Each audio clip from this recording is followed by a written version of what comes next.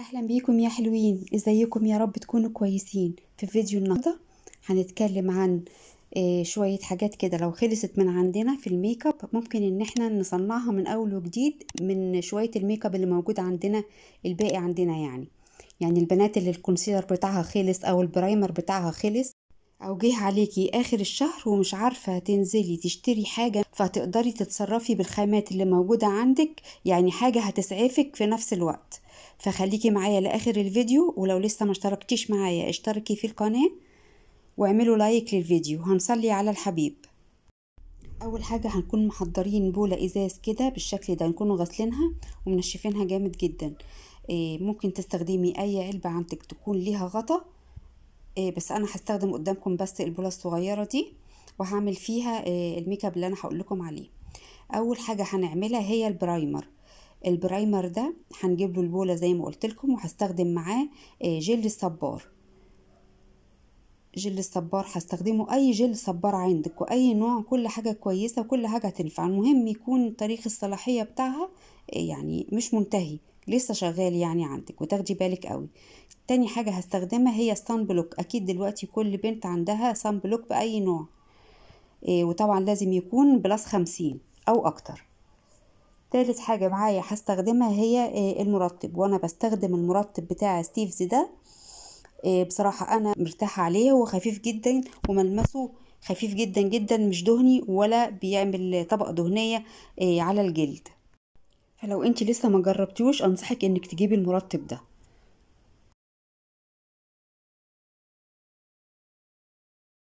هنبدأ إن إحنا نحط المكونات فوق بعضها بأي ترتيب أي حاجة مش مشكلة. وكمان الكميات بالكميات اللي أنت عايزاها.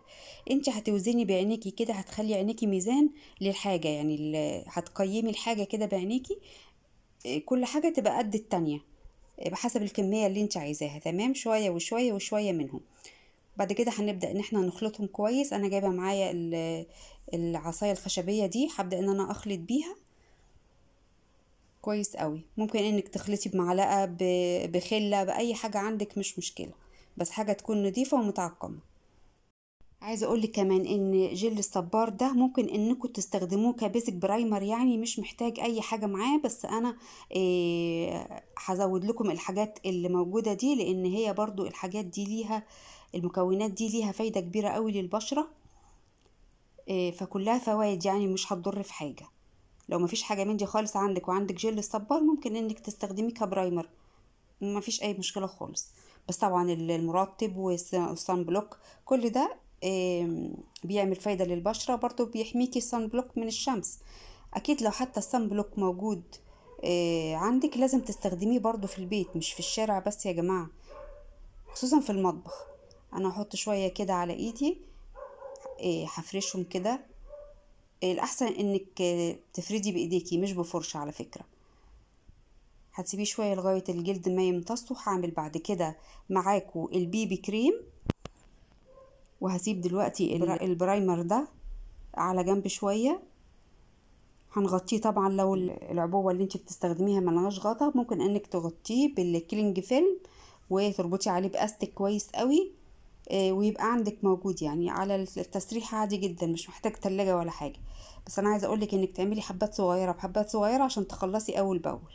لأن دي يعني تعتبر حاجات هتسعفك مش حاجات أساسية. لو انت حباها أساسية اعملي كتير مش مشكلة.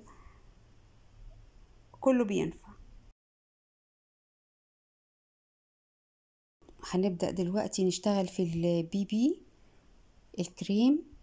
هتكون نفس المكونات بتاعة ال primer. هنجيب برضو عبوة من الإزاز كده بالشكل ده بولة من الزجاج برضو معقمة ومتنشفة وكل حاجة. هنجيب برضو نفس المكونات زي ما قلت لكم جل الصبار وال sunblock والمرطب هما هما. بس هنزود عليهم ال foundation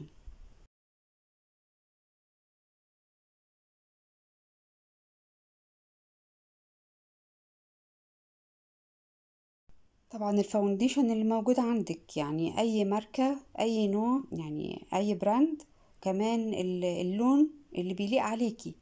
تمام؟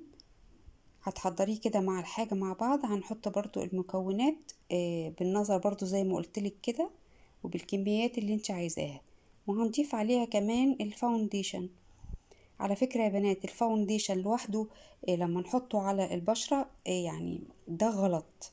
وخصوصا لو استعملناه كتير يعني خلوا الاستعمال لل foundation ده في مناسبة إيه يعني تكون يعني كل فترة طويلة كده مناسبة تحطوه كده على طول على البشرة بس يكون طبعا قبله الكريم المرطب تمام؟ لكن لو انت عايزة مثلا تنزلي كل يوم يبقى هتحطي ال BB cream اللي إحنا بنعمله ده عشان ما يبقاش ال foundation لوحده يتحط على البشرة. دي حاجات برضو مساعدة على التغذية بتاعة البشرة أكتر وأكتر. كمان في ال BB cream هنا هنحط منه نقطتين اتنين بس مش أكتر يعني. يا دوبك يعمل ضي كده للبشرة وينورها أكتر يخلي نورها ساطع كده. وهو لوحده ال foundation كده بيعمل ثقوب في البشرة كمان بيعمل بيقفل المسام بتاعة البشرة فترة طويلة وبيحتاج يعني غسول قوي جدا جدا إن هو يقدر إن هو يشيل الكمية بتاعة ال foundation اللي بتبقى موجودة على الوش.